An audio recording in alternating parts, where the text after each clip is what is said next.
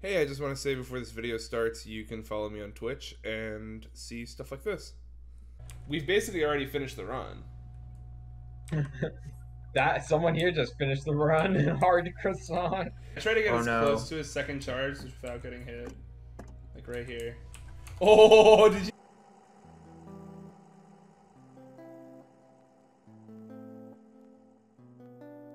Hey guys, what's up? Fur Daddy here. Today I'm going to be going over a guide on how to gear your gatherer up with best in slot uh, minus the Aesthete gear. So in other words, how to get your white scrip gear for your craft uh, gatherers. So it's it's going to be pretty much the same as my crafter's gear guide. Uh, there's a few things that are going to be different that are pretty crucial. So stay tuned for that. Uh, it'll be a little bit of a shorter video this time, but this has been pretty heavily requested since there is some info that differs from the crafters. So if you want to gear up your gatherers, just settle back, listen in, and I'll go over that with you now. So uh, the first bit of information would be surrounding gather- getting your gear from like about level 1 to level 40. Um, there are gear vendors for all this stuff, unlike the crafted gear where you're going to be really tightly gathering certain things and like uh, crafting stuff high quality for the Ishgard restoration. You don't really have to worry too much about stats, and that's for two reasons. One, gathering is a lot more lenient on what you can gather, and it's a lot more forgiving in giving you the ability to gather things. And two, if you're going to be following my leveling up guide that I laid out, you're going to be leveling up in the diadem up until at least level 60. So it shouldn't really matter um, what gear you have because your gear is synced in the diadem to a certain extent, anyways. So uh, this part of the guide, I'm going to show you where to go to get your uh, your level 1 to 40 gear, but understand that you don't need to be like leaving the diadem every like 5 levels to get new gear. So you can mostly just ignore this part. Uh, but it might be useful for you if you do want to take a break and gather in other methods, so I'll go over that now.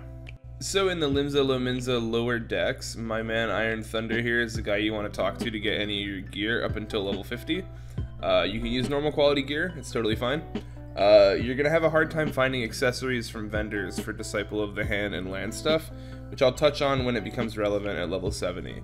Uh, for the meantime, you really don't have to worry about that because, like I said with gear, uh, it's very forgiving, and the leveling methods that you use as well are very forgiving. So that's not super relevant. Um, yes, Iron Thunder is where you get your gear, and as for your tools, you can get your tools from my guy Syneyhil here, and he'll give you the Disciple of the Hand and Land tools all the way up to level 50. So on the off chance that you do need accessories for leveling up, uh, you can get your ones up to level 35 from Sorcha here in Limsa Lominsa. As for any gearing past this point, uh, up until we get to the stuff in Kugane, uh, you can go to the Jeweled Crozier in Ishgard and talk to uh, Sanghui here, the jeweler, uh, Evredo, the fieldcraft supplier, and Norlays, the armorer, to get you the gear that you need all the way up to level 60. So at this point, gear becomes a little more relevant. This is because you're probably doing lev quests and maybe like GC turn-ins uh, to level up if you're doing the steps laid out in my guide. The the lev quests aren't as strict as you'd think they would be. Like you don't need super good gear to finish them or anything like that. And a lot of them just give you like slight bonuses if you finish them within the time limit or whatever. So uh, they're quite easy to do. I wouldn't really stress out about the gear that you bring into there. Uh, that being said, here's how you get the gear from level 60 onwards. So the next bit of gear you need to buy is from the independent merchant in Rhalgr's Reach. Uh, you can buy your primary tools, secondary tools, and gear from them. If you're looking for accessories that level range, Arake and Kugane here will be able to give you the accessories that you're looking for. Okay, so from level 70 on, uh, we can start to use scrips to buy our gear, which is really handy. So right away, uh, I'll just go over the gear that you can actually buy with yellow scrips. Uh, then I'll go over how to get scrips briefly, although I touched on it in my previous video. And then finally, I'll talk about the best in slot uh, or the white scrip gear. It's a debate whether it's best in slot because, you know, melded Aesthete gear is, well, it's a lot more expensive.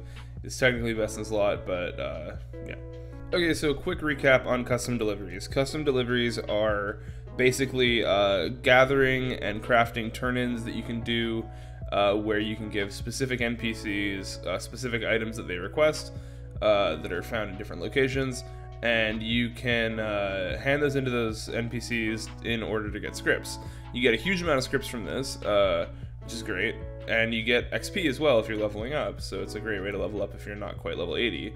Uh, so I'm gonna just do a little montage of the different NPCs, and I'll show on screen the quests that you need to unlock them because I do talk about this in my crafting gear video, which I've also linked in the description, and that took like you know seven or eight minutes. So I uh, I'll link that in the description if you want to unlock these guys. Uh, otherwise, you can uh, just just watch th- these guys here, and if you have any that you haven't unlocked, you can look up the quests to be able to unlock these ones.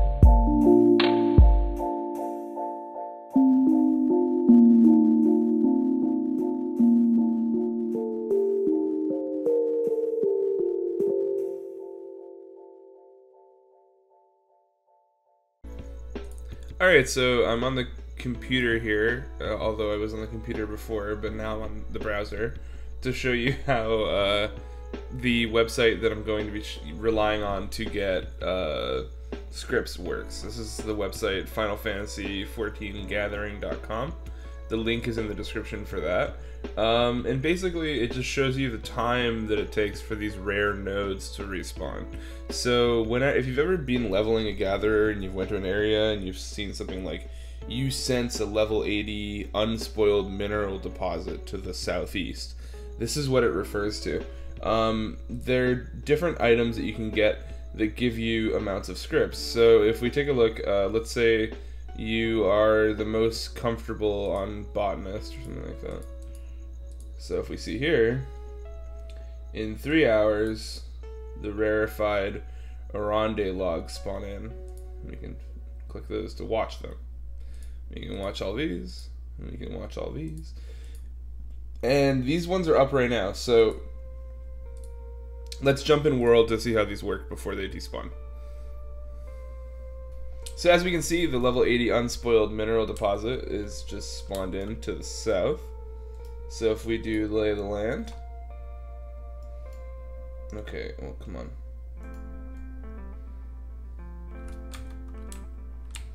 We can see this unspoiled mineral deposit here. we have the rarefied Gyr Abanian aluminum. So, I don't know why this just popped up uh, we can do a few things here. So the way that you you want to do this depends on your gear and a whole bunch of different stuff. But I'm gonna go ahead and do this, and then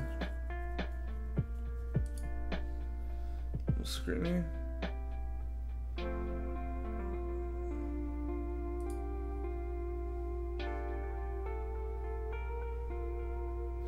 And the better you do with this, uh, the better you do with this, you know, the better you, the more collectibles you can potentially get. So, uh, where's the one that gives me an extra one? And that's where gear is really good. So we can get to the maximum here, uh, even though this is a waste. if if you got upset by that, then leave a comment. that you got upset about that. Alright, here is what basically we're to be doing. So, we can collect all this stuff here. Great. Now that's all collected. Now, we'll probably, you know, hop, or hop to the next location, and to the next location, and to the next location, until you have a whole bunch of these. So when you have a whole bunch of them, uh, you can just go to any collectible appraiser, but we'll use the one in Eulmore.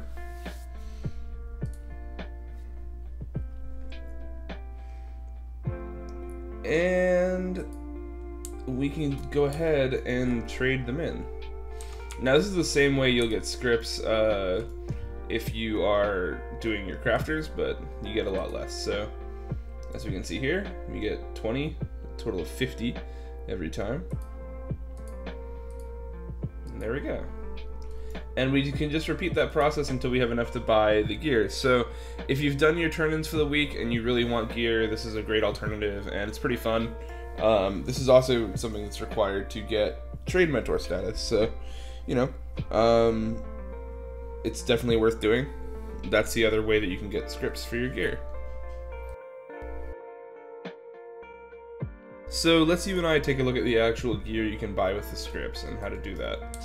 Simply go to the scrip exchange, which you can do at any uh, crafter or, or gather turn-in spot. There's a lot of these guys around, but this one's in Eulmore. If you go to the Gather Scrip Exchange, you can buy the level 70 accessories and items here. So uh, this is fine to do if you have done your turn-ins and you want higher level gear to make things a little bit easier on you when you're leveling up. These are super, super cheap, so there's no problem getting those. And what the actual aim of this guide is, is the gear here, this Landking gear. Not only is it great glam that makes it look like you just ordered like from the Eorzean Starbucks, it's also uh, it's also quite cheap and it's very good.